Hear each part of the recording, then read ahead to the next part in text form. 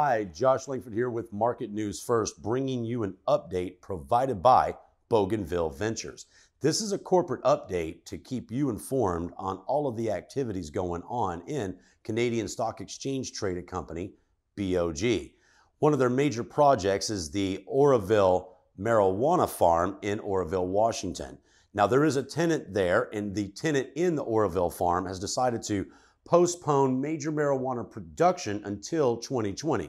While that's only a few months away, really, they're going to be sourcing additional marijuana to make their contracts or to, to uh, make their obligations for their tenant's contract for pre rolled marijuana cigarettes. Do keep in mind that uh, Washington is a legal recreational state for marijuana, and Bougainville Ventures does provide a growing facility for marijuana production. In the next update, uh, Newberg, Oregon hemp production and processing farm is active and they are in the middle of harvest. So this year's uh, harvest for 2019 for CBD production is harvesting 10 full acres of uh, hemp for CBD production. They are about halfway through as of this date, and more updates are coming as to how that harvest is going to go and the processing for that production. In fact, wet CBD as it's har- sorry wet, wet hemp as it's harvested is being sent to the processor as it's coming off of the harvest line. Furthering uh, along is the letter of intent with USA Hemp to process 298 a- acres. This is also active and under construction. Now, this is related to the letter of intent that was signed with USA Hemp uh, for the company's news release dated July 17, 2019. The company's subsidiary, Worm Casting Farms, Inc., uh, also signed the LOI with USA Hemp to process its hemp derived wet biomass from its 298 acre hemp farm in Oregon State. A 15,000 square foot uh, facility, prefabricated metal building is set to be delivered, and there is construction going on.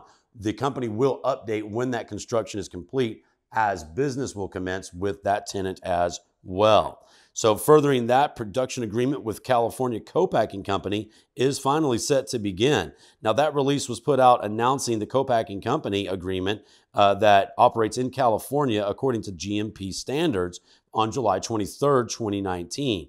So, the production agreement with the co-packing company is to produce and process a dedicated line of cannabidiol derived CBD products. Pursuant to the production agreement, the co-packaging company has agreed to provide product development, manufacturing, and distribution of the company's CBD blended MCT oil tincture products for assistance with anxiety, energy, and sleep deprivation. There is already a minimum uh, SKU order of 1,000 gallons or 56,000 units, which will be distributed to nutraceutical and natural health product retail markets via the Thrive Wellness brand.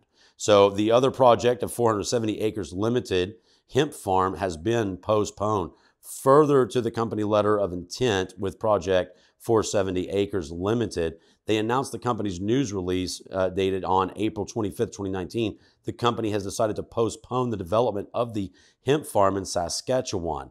The company effected this postponement so as to concentrate its efforts and resources on the development of the Oregon farm, which already has a license to produce and process hemp. Uh, probably a very strong move by the company. Now, this also, the Mountain Mellow Alberta locations have been delayed. Mainly this delay, and well, the, the 25% ownership of the retail stores was announced on April 25th, 2019. However, it's been delayed as the prime retail locations. They're wanting to find two more before they actually initiate uh, this agreement. So that delay is postponed of the stores going into the Mountain Mellow, Alberta locations until further notice. But do stay tuned for that.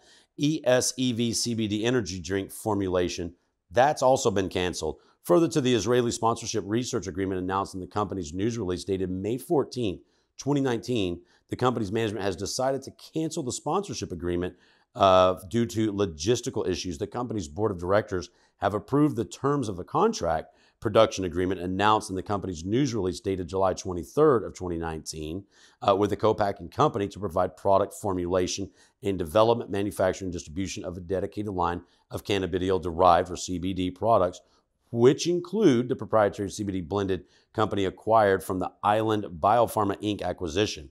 To learn more about this news going forward, definitely go to marketnewsfirst.com slash bog dash news. We will keep you updated. So as the company uh, brings updates and new developments regarding these particular instances or activities of the company, Market News First will keep you informed truly right here at marketnewsfirst.com. Josh Langford, happy to report it. Always get your news at marketnewsfirst.com slash bog dash news for Bougainville Ventures. Marketnewsfirst.com. Be truly informed.